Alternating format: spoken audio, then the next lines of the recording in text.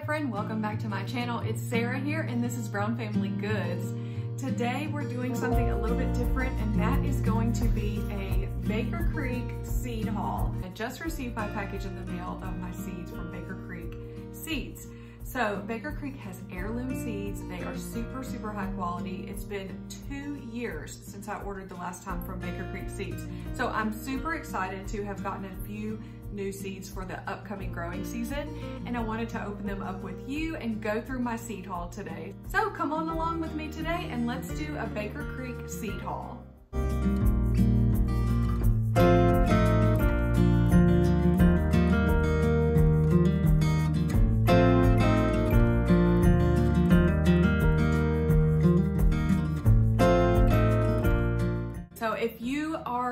Gardener at all, you probably have seen the Baker Creek seed catalog. If you haven't gotten one of these yourself, you can order this from their website and then every year, year after year, they will send you this Baker Creek seed catalog and it is the most beautiful catalog.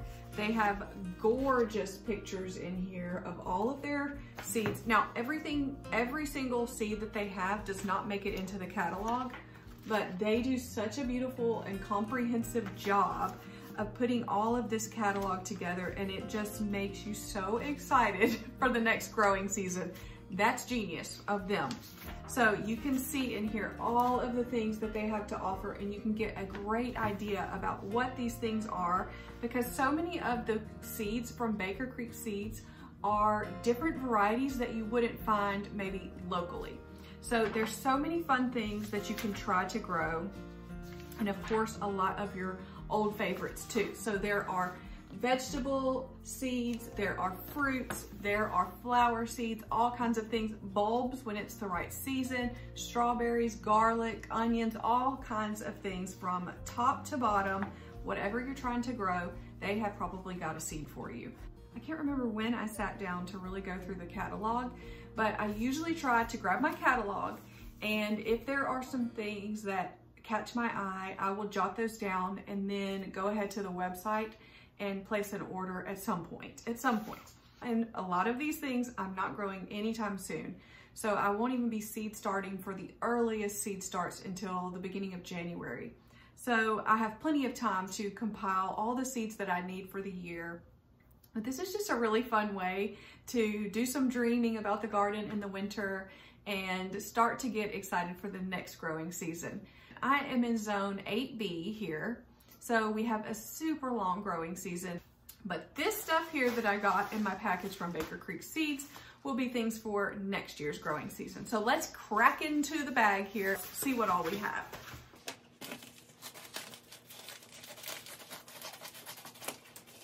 Even their mailer is beautiful packaging. you cannot beat their packaging. All right, so this is the list of what all I have here. It's pretty long, pretty long. The great thing about Baker Creek Seeds also is that they give you some free varieties with every single order. So when we come across those, I may be scratching my head just a little bit, but we'll see what we got for free. And that'll be very exciting as well. Okay, let's dive into this. Now, this is in no particular order at all. I'm just gonna start pulling off the top of the pile here. First thing that I'm picking up here is cucumber. This is a Parisian pickling cucumber, and I have heard about these that they're tender and great for pickling, obviously, as the name indicates. It says they make great, tiny, sweet pickles. The old French gherkin or Cornichon pickler. Yeah, so these are gonna be a small variety that you can take off really, really little and pickle up. So hopefully these are gonna be great for us. I've never tried a Parisian pickling cucumber. Boston pickling is usually what I grow, and I believe I ordered some of those in this order as well. So the next up here is cilantro. This is just a slow bolt, slow bolt cilantro. I usually order this. The last order that I placed a couple of years ago, I ordered several packages of this. You do need to stagger when you start this. So I typically order a couple of these. I think I only ordered one. I still have one more package left. Up next is butternut squash. This is the Waltham variety, which I have grown before and it did really well for me. This one makes nice big uh, butternut squash. The last time I grew it, I got several on each plant and that did really well. I did not grow any butternut squash this year. There's a lot of things that I didn't grow this year that I wish I had. I just, for some reason, did not have the bandwidth to really make a comprehensive garden this year. I think because I was so tied up with the farmer's market, a lot going on and the garden, while I got in the basics and everything grew pretty well, I did not have the most comprehensive list of things in the garden this year, that's for sure. Oh, I found the Boston pickling cucumbers. I did order some of those, so I will enjoy these. These are one of my favorite cucumbers, probably my favorite one to grow because they always are sweet. They never seem to get bitter like some of the longer cucumbers can. So they always are a pretty much a sure thing. Okay, let's jump into the tomatoes. I ordered three different types of tomatoes here and let's go through those. So I ordered one variety of paste tomato, one of a cherry tomato, and one of a slicer tomato. The cherry tomatoes that I ordered here are called Sweetheart Cherry. Look at the beautiful pictures on this packaging. It is just always so enjoyable. Cherry tomato is packed with sweetness and a rich berry-like flavor. It is quite crisp and the fruit can keep, can keep on the extra long vine, making it extra high in sugar. That is the cherry tomato variety that I'm gonna try this year. Then I got the standard Amish paste tomato. In this, I think this is supposed to be a minimum of 25 seeds. That will be plenty for my garden for this year. And I, I hope to do all 25 plants and at least get, you know, as many as possible from this package of seeds here. So I'll start them all and then hopefully get them all outside. So these are perfect for sauces and to put up tomatoes, to do diced tomatoes and things like that. So we will try those this year. Amish paste is what, these are supposed to make a nice big paste tomato. Whereas the Roma tomatoes that I grew last year were a bit on the smaller side. So then you have to do a lot more work of the peeling and all of that um, when you're working with the smaller tomatoes. So hopefully those Amish pastes are gonna be a little bit larger and grow to a bigger size. Okay, and then the slicer tomato that I got is called Bread and Salt. I mean, it just looked incredible in the magazine. This says delectably meaty. Oxheart type is a large round orb with dense and meaty flesh. Exquisite for slicing, sauce making, and everything in between. So this can be sort of a versatile uh, variety of tomato, which sounds perfect. One that is not technically a tomato, but is in the same family. I got some ground cherries. I have seen people grow these a lot on the YouTube. Um, so I want to try these out. This is a, you can can these as well. So this says Polish heirloom variety has unusually fine flavor, very sweet with a nice hint of tartness. Excellent choice for pies and preserves. So I think Alan will really like these because he likes tart and sweet. So hopefully that'll be something that he'll enjoy trying. That will definitely be our first time growing ground cherries. Next up is tomatillos. I did not grow these in the garden this year because again, I forgot, didn't even think about them until later in the season. I was like, hmm, I didn't grow any tomatillos at all. So these are supposed to be larger tomatillos. This one is a Rio Grande Verde and they're supposed to be nice and large. So again, the larger the fruit that you're working with, the easier it is to work with, in my opinion. Okay, next up, this is a one-off thing here, and I wanted to try them. Cow peas, these are black-eyed pea, so I definitely want to give these a shot this year. Growing our own peas, growing our own beans is something that we really want to try. Now that we're going to be expanding our garden next year, we're going to have some room for things like this. So this says trellis to conserve space. So hopefully this will be a vining pea that can grow up a, tre a trellis. Next up, oh, I do have one more pea.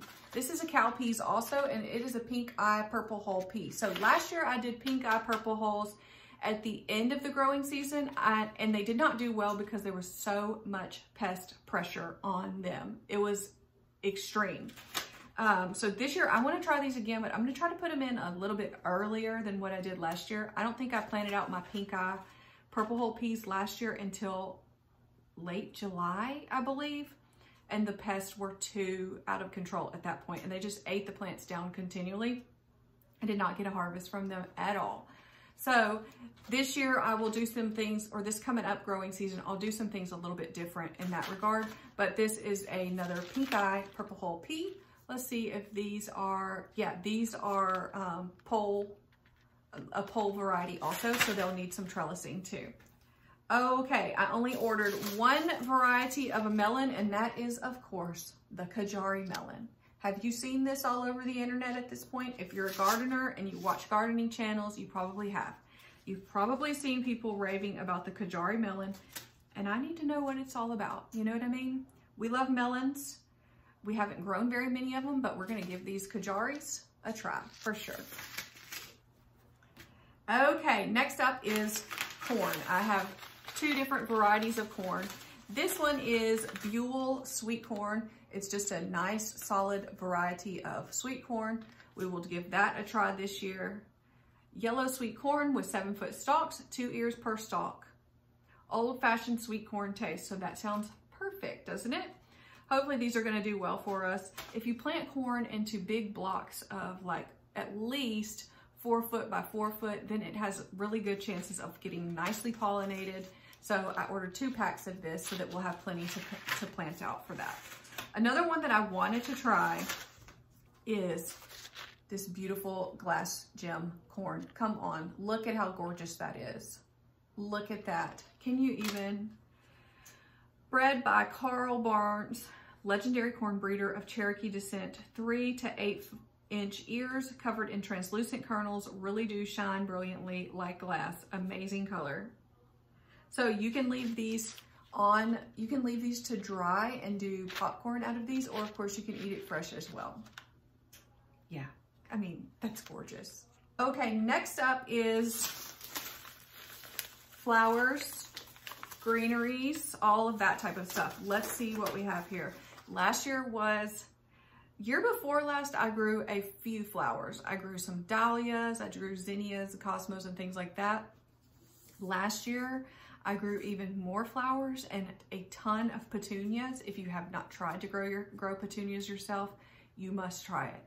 They grew, now maybe it's just our climate and where we are and the conditions and things like that, but the petunias for me grew like wildfire. wildfire. And at this point, they're reseeding themselves everywhere because the seed is so fine on those petunias that it just blows and seeds everywhere. Um, okay, so let's go through the flowers that, the seeds that I ordered from Baker Creek for flowers for this coming up year. First things first, Cosmos. This variety was beautiful. It's called Seashells Cosmos. And look at that beautiful color. Cone shape rather than flat flowers in a deep rose, shell pink, and snowy white. So this is a mix of Cosmos in here. Next up is, did I have any more Cosmos? Nope. Next up is Coleus last year and the year before both, I grew coleus and it is so awesome to grow. It's a great plant to grow on its own. It's beautiful by itself. But if you like to make planters, like putting some petunias and some greenery, so thriller, filler, spiller, you know, those type of planters, which I love to do. Um, this is the perfect filler. Look at the color on this variety. It is called Colocha Sunset Coleus. And that sunset color is incredible. I think it's gonna be so beautiful. A burst of tropical sunset colors. Yes, it is. So the coleus was super easy to grow as well, and it looks beautiful. The instant it sprouts, those little coleus sprouts, they're this color or whatever color. If you get the bright pink and green, so you get instant gratification when you grow coleus because it sprouts up out of the ground in that beautiful color of whatever it's gonna be. So it's very satisfying to grow. Next up is petunias. This variety I grew last year and I love them. This is called Super Bis Superbissima. Superbissima Garnies Triumph Mix. Okay, this is a mix. Superbissima, I don't even know how to say that. Petunia Superbissima. Superbissima Garnies Triumph Mix Petunia. I have no idea if I'm saying that right, but this is a beautiful petunia and this is gonna be a mix of the colors of that variety. They have the biggest petunia flowers on there and then they're like a ruffled edge flower. If you can see that, I'll try to put a picture up too, but they are so gorgeous when they grow and they just look incredible. I grew those last year. I was super happy with them and they were not delicate, tender, nothing. They were super hardy all throughout the summer. Next up here is a variety of nasturtium. Tip Top Rose nasturtium. Of course, nasturtiums are an edible flower. Um, this is a favorite edible flower in a soft rose color. So plants reach 14 inches tall, mounding habit with leaves that are also edible and make a spicy green in salad. Now, I have never eaten nasturtiums at all because mine have never done super, super well, but hopefully this year I'm gonna be able to grow this beautiful variety of rose nasturtiums. We're gonna give it a try. Something that did great last year that I did not, I was too busy to even put up any is chamomile. Why did I not harvest some for teas and things like that? I have no idea. But I just let it pass me by and then by the time I wanted to put chamomile up, it was too late. This is an annual and it makes tiny small flowers which are super aromatic and make great tea. Pop the little flower heads off and save them in a jar or something, then you can do all kinds of things with it. So this year, we're definitely gonna grow more chamomile. This year also, the goal is to save some. so hopefully I will, right? Okay, next up is a couple of varieties of zinnias. This one is called Persian Carpet Zinnias. I mean, look at these gorgeous zinnias. Wow. Stunning gold, red, chocolate, orange, and cream mini bicolors. So this, that, look at how beautiful those are.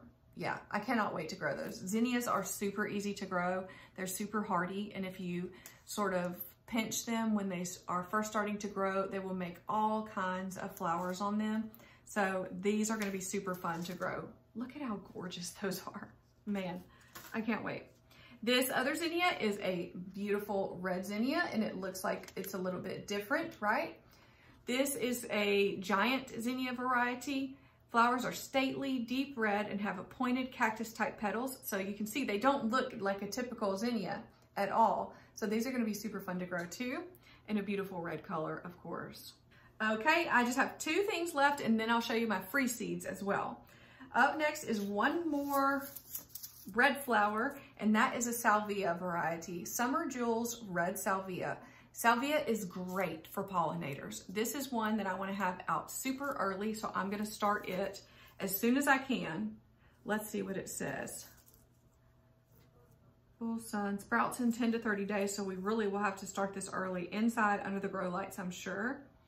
Lipstick red half inch blooms. This tidy variety reaches just 18 inches tall and at maturity it makes perfect bedding, border, or container plant. Attracts droves of butterflies and hummingbirds. So this is a great, great pollinator friendly plant and those red flowers will bring all kinds of good things in for us. The last flower variety that I bought, that I purchased is calendula. This is another one that I grew last year. It went like gangbusters. It was beautiful too. This is a variety Pacific Beauty Mix. So there's lots of colors in there of oranges and yellows, and it's gonna be really pretty. This is something else that I want to save some of this year and dry. Description of it says a historic heirloom garden plant that was known as pot marigold. Lovely flowers up to four inches in colors of orange, apricot, yellow, peach, and cream. So this is gonna be a beautiful variety of calendula. So let's see what I got for free here from Baker Creek. They always are so lovely to send along a few free things with your order. And this is gonna be so fun to grow these.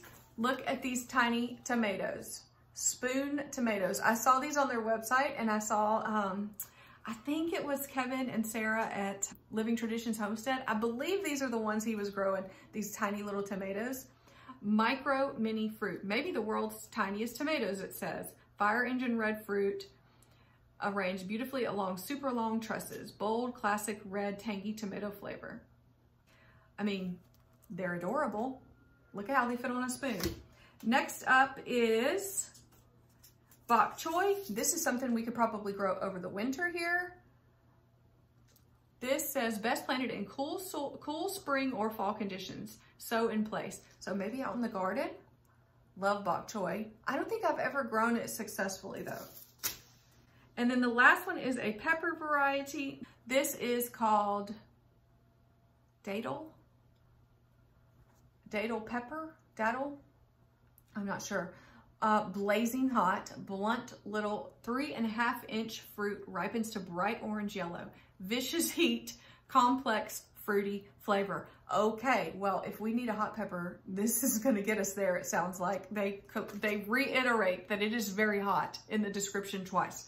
So, in case you didn't get it the first time. So that was our free stuff from Baker Creek Seeds. Three free things with each order and you will get whatever they send you, but there will be some fun things to try in there as well. That was my Baker Creek seed order and I am so excited for this coming up year's growing season. I'm definitely already starting to dream and plan and think about what we're gonna grow next year in order to try and grow more of our own food here on our homestead. We have the room, we have the desire, we have the energy. So if we think about it now in these cooler winter months where we have lots of downtime uh, to just dream things up and think about how we're gonna implement them, then hopefully we can put our plan in action next spring and start to grow so much food. I really appreciate you coming along today to hear about my Baker Creek seed order. I have enjoyed going through it with you. I can't wait for next spring when we can start to seed and put all this stuff into the ground. Thanks so much for being here and I will see you back here again real soon.